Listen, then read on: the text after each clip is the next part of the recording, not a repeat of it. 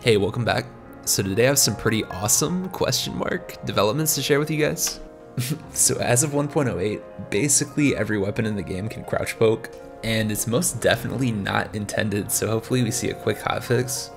But lastly, if you're feeling the vibe, hit me with that HBO special and help a brother out by subscribing to the channel. I also stream on Twitch and you can catch me there, but let's get into it. So to make this glitch work, all you need is a sword, and what counts as a sword you may ask? It's pretty much every class of weapon with sword in the name.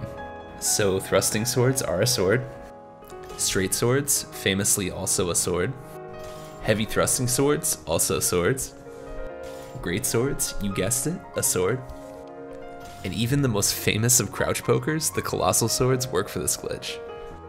So you chose a sword, congratulations. Equip the sword in your left hand, equip another weapon in your main hand, and let's get to poking.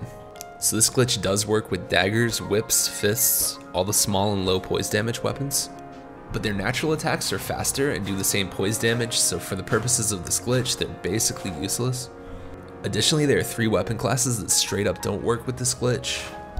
Thrusting swords and heavy thrusting swords give their normal crouching attack, and the other class being curved swords. Every other weapon class in the game, yes, shields included, can crouch poke. I just want to reiterate at this point that I'm not promoting the use of glitches in PvP or anything like that, but the more people are aware of it, the better chance it reaches FromSoft and we get a quick hotfix like with Elden Ring 1.07. So please use responsibly, and with that being said, here's some footage of me poking around and fighting some bosses.